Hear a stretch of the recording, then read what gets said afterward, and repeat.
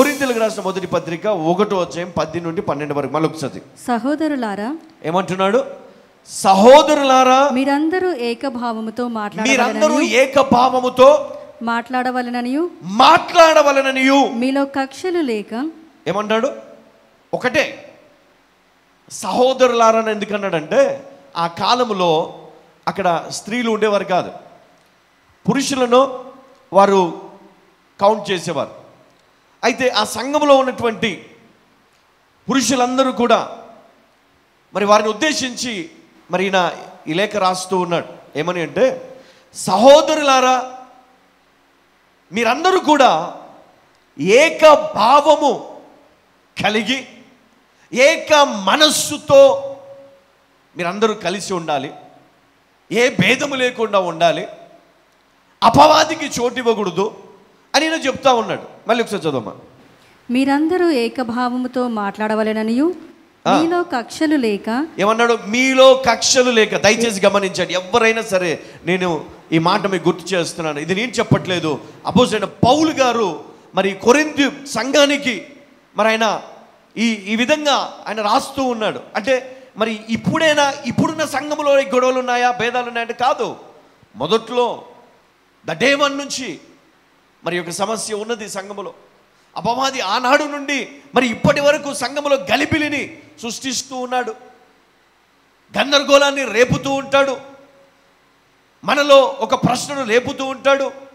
మనం వాక్యం విన్నా సాక్ష్యం విన్నా అన్నిటిలో క్వశ్చన్ మార్క్ మనకు చూపిస్తూ ఉంటాడు.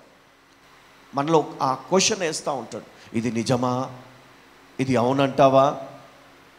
ఇది దేవుడే చేశాడా? అబద్ధం చెప్తున్నారా? నేను నీకంటే ముందు వచ్చాను కదా. నేను గొప్పనే కదా. నేను నీ తర్వాత వస్తే నీకంటే ఎక్కువ జ్ఞానం లేదా నాకు? జ్ఞానం నాకుంది. ఆలోచన నాకుంది. చూడండి చాలా సంఘాల్లో విభజించబడతారు వర్గాలుగా విడిపోతారు. డిఫరెంట్ యాటిట్యూడ్స్ చాలా సంఘాల్లో మరి సాతనుడు ఏం చేస్తాడంటే వారి బలహీనమైనటువంటి హృదయాన్ని పాడు చేయడం మొదలు పెడతాడు. చాలా ఇబ్బందికరంగా వారిని మార్చేస్తాడు. మరి సాతానుడు ఇక్కడ ఏం చేస్తాడంటే మనని ఎలాగైనా టార్గెట్ చేయాల. నీ విశ్వాసాన్ని చూశాడు. నీ విశ్వాసం బలమైంది. నీ విశ్వాసం చాలా బలమైంది.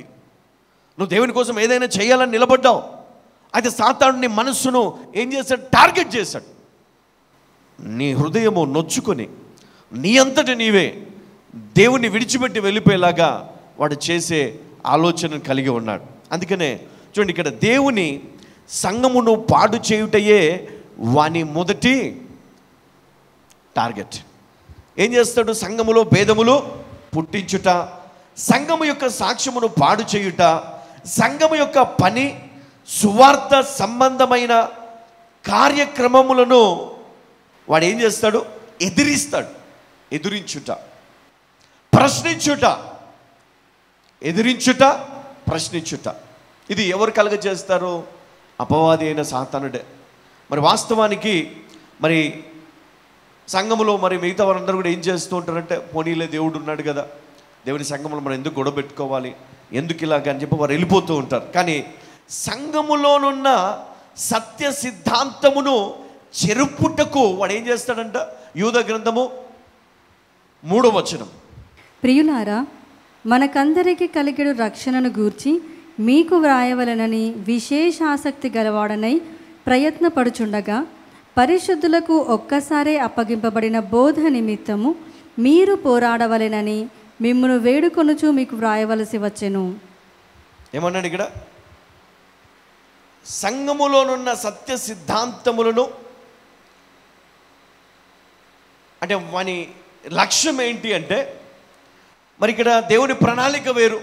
ఈ సత్యవాక్యమును ఈ సత్య సిద్ధాంతములను కాపాడుటయు వాటిని మరి అనేకులకు చేరవేయుటయు. మరి ఈ సంఘంలో జరుగుతున్నటువంటి పనులు వీటిని మనం కాపాడాలా? వీటిని మనము జాగ్రత్తగా వీటిని మనము ప్రకటించాలి. అయితే మరి సాతాను యొక్క ప్రథమ లక్ష్యము ఏంటి అంటే సంఘంలో భేదాలు సృష్టించాలి. మరి వీటన్నిటిని కూడా తీసుకొని రావాలి. సత్య సిద్ధాంతాన్ని మట్టుకు ముందుకు పోనివ్వడవాడు వీలు వీలు కొట్లాడుకుంటున్నారు కదా. ఇంకా ముందుకెళ్తుందా పరిచర్య?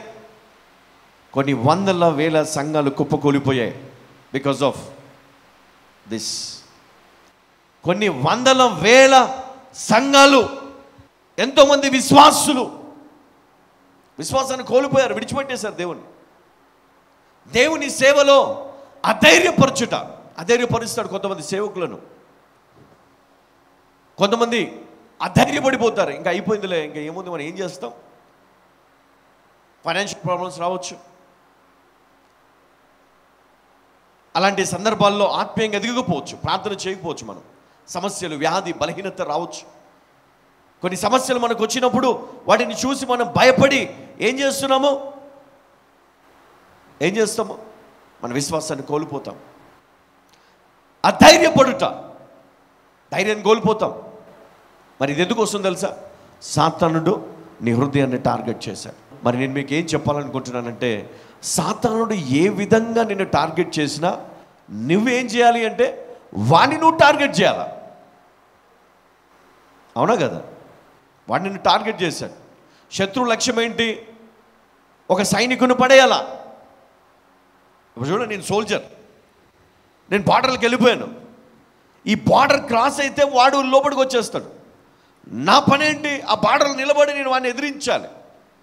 అపవాదిని ఎదిరించుడి అప్పుడు వాడిని ఎదురు నుండి పారిపోతాడని వాక్యం సెలవిస్తాం అవునా కదా? అంతేనా? మరి నేను ఏం చేస్తున్నాను? అధైర్యపడుతున్నాను.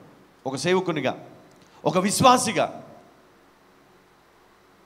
ఒక క్వైర్ మెంబర్గా ఒక మ్యూజిషియన్గా ఒక వాలంటీర్గా ఒక సంఘ సభ్యునిగా నీకు వచ్చిన సమస్యలకు నువ్వు ఏం చేస్తున్నావు? కృంగిపోతున్నావు. ఒకడంటాడు అమ్మా నువ్వు ఇంతకాలంగా నువ్వు దేవుని నమ్ముకున్నావు కదా ఏమొచ్చింది మీకు? మీ ఆయన చచ్చిపోయాడు ఇంకేం చేస్తావు నువ్వు? నీకు అయిపోయింది కదా నీ జీవితం.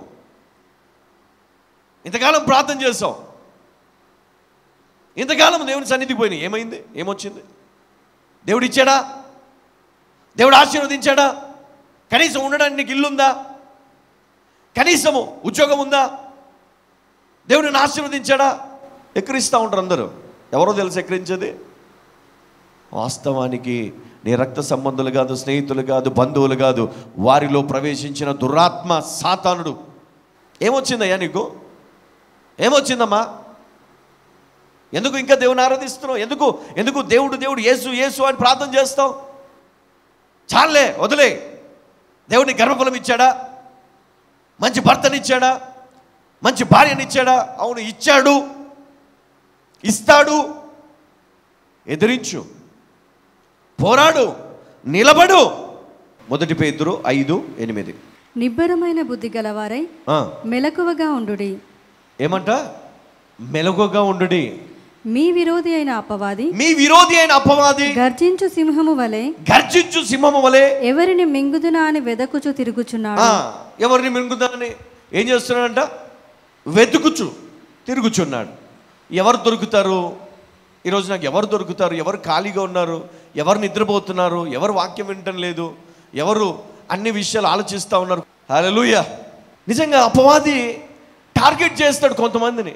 వారు వినకుండా వారు వినకుండా ఆ వాక్యాన్ని అర్థం చేసుకోకుండా కొంతమంది అపార్థం చేసుకొని మరి వారి జీవితాలను పాడు చేసుకున్న వాళ్ళు ఉన్నారు. కొంతమంది అపార్థం చేసుకొని. ఇక్కడ కూర్చున్న వారికి వింటున్న వారికి మరి అప్పుడు ఏం జరుగుతుందంటే దేవుడు మనల్ని ఎందుకో ప్రేరేపిస్తూ ఉంటాడనమాట ఆ సమయంలో. ఎందుకంటే నువ్వంటే చాలా ఇష్టం దేవునికి. నిన్ను వదులుకోలేడు దేవుడు. అందుకే ఎన్నిసార్లు నువ్వు డిస్టర్బ్ అయినా ఆయన ఏం చేస్తాడు? నీ దగ్గరికి వస్తాడు నీతో ఏదో చెప్పాలని చూస్తాడు. ఏదో నీకు బోధిస్తాడు. ఎందుకు తెలుసా? నువ్వు ఆయనకు కావాలి. ఎందుకంటే అపవాది నిన్నే టార్గెట్ చేస్తున్నాడు కదా. దేవునికి నిన్ను వదులుకోవడం ఇష్టం లేదు. నీ ద్వారా ఏదో ప్రణాళిక దేవుడు సిద్ధపరిచాడు. దాన్ని నువ్వు తెలుసుకోవడానికి ఆసక్తితో నువ్వు ఎదురు చూడాలి. వాడు ఏం చేస్తాడు తెలుసా? దేవుని బిడ్డలను వాడు ఏం చేస్తాడు? పాడు చేయాలని చూస్తాడు. దేవుని చిత్తమును అర్థము చేసుకుండా అవిధేయత వలన వారి నడతలను వారు పాడు చేసుకుంటారు. మరి ఉదాహరణకు మనం చూస్తే బాప్తిజము తీసుకోవడానికి కొంతమంది ఏం చేస్తారంటే పోస్ట్ పోన్ చేస్తూ ఉంటారు. ఎందుకు పోస్ట్ పోన్ చేస్తారు తెలుసా? సాతాను పక్క నుంచి చెప్తాడు రే జాగ్రత్త. నువ్వు తీసుకున్నావా? No cigarette. No wine.